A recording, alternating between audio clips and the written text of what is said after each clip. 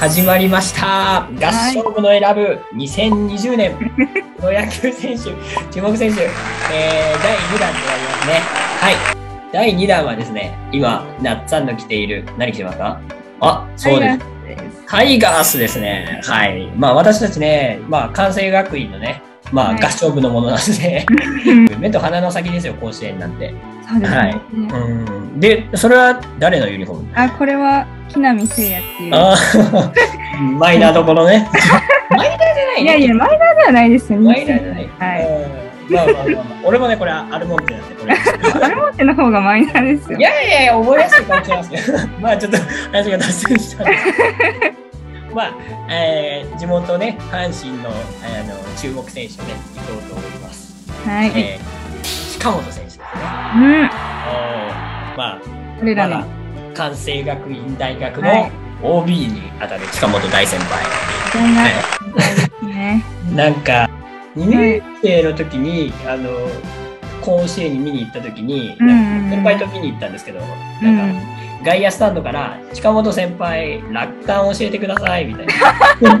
っていうねヤジをね横で先輩が飛ばしてましてね、まあ、なんか感覚ってね宮西とかね、うん、とか、まあ、なんか結構ね、うん、なんかあんま人数いないけど結構活躍してる選手多くてね、はい、応援したくなりますね、まあ、ちょっと脱線するんですけど、はい、広島のね。はい。ね。名前が出てこない。黒原です黒原。なんかねまあ思いますよ。はい。えー、で、ごめんなさい、脱線しすぎて。近本の話してください。はい、近本ね。まあ、はい、去年もね、もうここ3年全部活躍してて、ルーキーすごいです。すごいよね。うん、なんか、理想のセンターみたいな、今は。うんなんかドラゴンズファンとしてはこんなこと言いたくないけどちょっと大島の上位互換ぐらいまあ、えー、でも年齢差はあるけどこの打率も残せて長打も打ってて守備も良くなって、うん、確かにでまあ何をね注目するかっていうとですね、うん、あのまあタイガースね今年こそ優勝をね、はい、で毎年言ってますけど、ね、いやまあでも去年はやっぱ悔しかったと思うんですよ地元が、うん、であのー、近本ねあの、はい、なんていうんですかねスロースターターなんですよ、うん、その去年、ね、確かね34月が2割2分とかなんだよ打率が。あらら。でその1個前があれ6月開幕じゃんはいはいはい。それもなんかね、2割切ってね、打率が。あ、そうでしたっけ？そうなんよ。で、なんか、なんかちょっと春弱いよね、近本。毎年。で、まあ、優勝するんだったらやっぱスタートダッシュがね、必要なわけで。はい、だから、まあ、近本も、まあ、だから通年通したらもう立派な成績出すんですよ、どうせ来年も。で盗塁されるんですよ、うちも。でも、なんか、やっぱ優勝するために阪神ね、近本がこの春にね、どれだけ打つかっていうのを、なるほど。注目してもらえる。ポイントですね。それいい感じじゃないですかね、今まで。いい感じです、いい感じ。いい感じです。では、ナッツさんの方どうぞ。私はやっぱりあの阪神の優勝のキーマンって聞かれて、うん、模範解答が佐藤輝明だと思うんですよ。ああね。お父さんが科学の准教授の。うん。あ、そうなの？そうなんです。え、知らなかった、マジいるんですよ、人福に。あ、そうなんだ。皆さん、見てください。もうなんか、照明のさ、あの、はい、高校？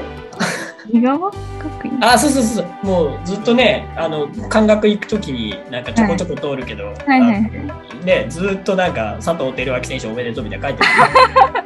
ずっと書いてるんじゃないですか？もうなんか佐藤も近本もめちゃくちゃもうここら辺地元よね。はいはい。その佐藤の輝明の佐藤。に注目します、はい、去年、うん、なんかすごい佐藤が打って阪神が調子よくてみたいなのがずっと続いてて、うん、佐藤が調子落とした途端阪神も一緒に急降下してて、はいはい、すごい連動してたんですよね。うん、なんかサンズと共に落ちていったね。サンズと共に落ちてた。うん。で2年目がそうどうなるか、うん、まあ2年目のねジンクスがね、後半もだって全く打ててない中で、はい、まあ上がるわけでね。でもなんか、オープン戦絶好調じゃないですか。そうなんですよね。めっちゃ大事で。そんな心配する必要もないんかなと思うんですけど。まあね、やってみないとっていう感じ。わ、うん、かんないんで。まあ、阪神ね、あの、まあ、ちょっと注目選手また、また、俺すぐそれるな、これやばいな。喋ってください。俺、個人的にはやっぱね、阪神大きいの、まあ、近本とかもね、もちろんそうなんだけど、はい、やっぱりスアレスの抜けた穴をね、はははなるほど。抑えがいなくなって、確かにでそうでそれをさ、新外国人が取ってるけど、ね、使えるか分かんないじゃん、まだ。ガチャなんでね。そうそうそう、もうそうだよ、もう本当に当たんねえの、ガーバーみたいな。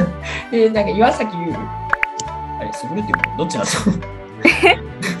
岩崎？あ、岩崎すぐるあ、すぐるなんだ。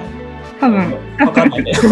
これまた叩かれそうだけど。でも阪神ファンじゃないそう。で、9番に、あ、9、9回にしたら、はい、今度さ、セットアッパーがさ、あ、確かに確かに。8、9は決まってたけど、7はいないし、みたいな。うん。そう、だから阪神は、だから、今、近本のスタートダッシュと、うん、まあ、照明の2年目のジンクスと、まあ、はい、むしろがね、どうなるか。はいはい、先発はね、強力だから。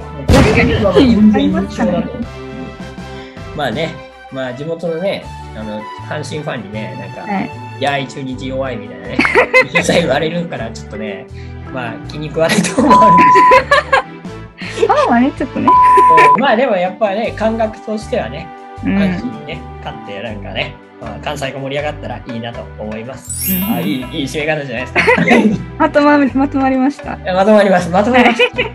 じゃあ、えー、次は巨人ですかね。はい。はい。じゃあ、阪神はこれで終了バイバーイ